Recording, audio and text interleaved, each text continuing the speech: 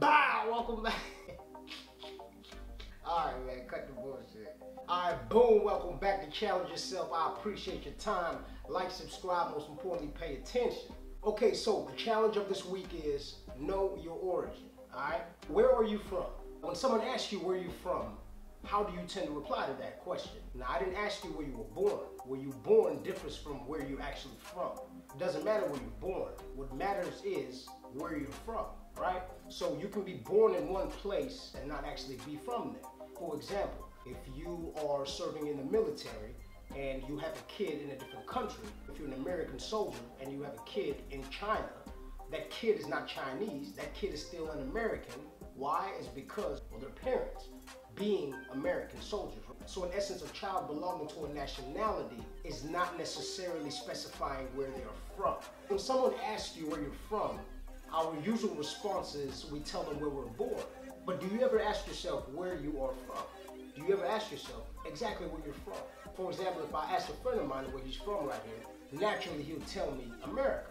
If we break that down, we understand that everybody in America is actually immigrants themselves. The founding fathers, every single president, majority of people that you can think of that call America home are not even actually from here, were just born here. There's people that have European descent. There's people that have Asian descent. There's people that have African descent. There's people that have Latin descent. So at the end of the day, the only thing that's native to the Americas are the indigenous people. Now, unfortunately, most of us don't know where we originated from. That's why I feel like it would behoove us to do just that and find out. I can't stress how important it is to know where you're from. From kids who have been orphaned to kids or people who are product of artificial insemination, uh, there is always that burning desire to know your source and to find out exactly where you come from. There's always a day when the most important question hits you dead in the face, like, who am I? And where am I from? Knowing where you're from is actually knowing who you truly are. And when knowing who you are, your sense of perception and direction in life is a little more clear. And we all know the same.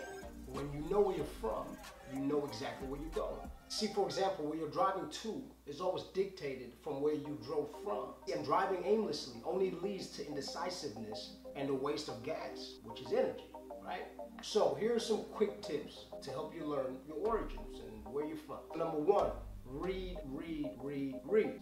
Go to libraries, look for books with credible authors that speak to your culture uh, and your history of people. For example, all you know is, is that you're from somewhere in Asia, right? If you're blood to your relatives and uh, you weren't adopted, look up the etymology of your name. See, etymology is the chronological study of words and their origins. Number two, Talk to family. Take it a step further. Talk to surviving relatives. Create uh, some sort of a family tree.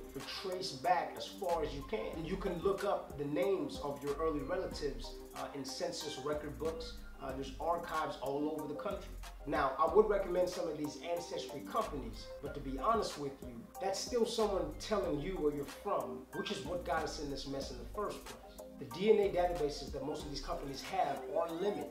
And number three, travel. So if you know one side of your family comes from Jamaica or Europe, go there. Just go. Mix and talk with the local people. Breathe in the air. Eat the food. That alone brings you closer to what you were once from.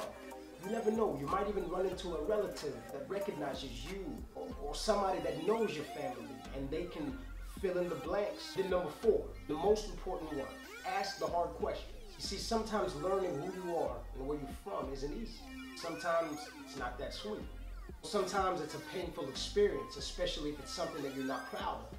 But one thing is for sure is, whether you're proud of it or not, good or bad, it's always important to face the music. You see, it's important to face the music so you know how not to repeat the past, especially when it's detrimental. It's important. It's important and essential to who you're gonna be by knowing exactly who and what you are and where you're from, good and the bad. The most important thing about it is we have to learn from the bad and keep piling on to the good, right? So that's the challenge of the week. Know your origin. Good luck. Hope you take heed. I'll see y'all next time. Peace.